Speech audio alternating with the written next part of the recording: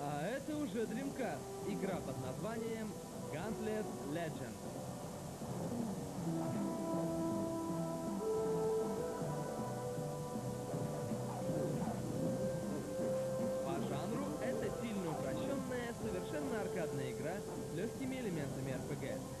Выбираете одного из героев, например, мага или гнома, и отправляетесь в путешествие по населенным врагами трехмерным уровням.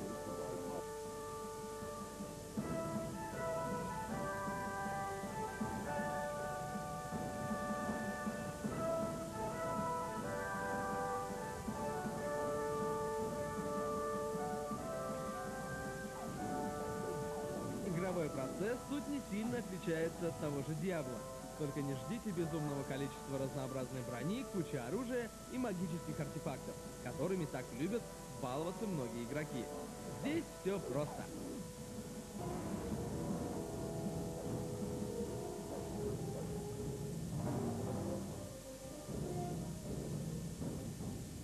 К сожалению, не только просто, но и не очень впечатляюще графически.